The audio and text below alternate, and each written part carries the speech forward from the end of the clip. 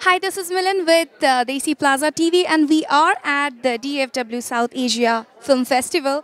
So, are you excited about the film festival? Of course, very, very, very excited.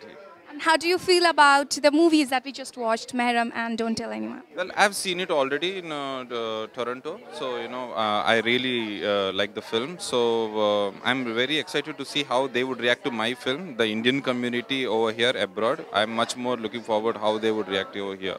So, can you talk a little bit about your movie, what it is about, and what it is called?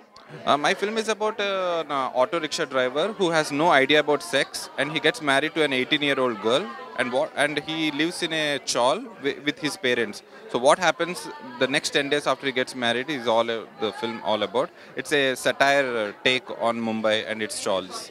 Wow, that sounds pretty interesting. Well, good luck to you for the rest of the three days remaining, and we'll catch up soon. Yes.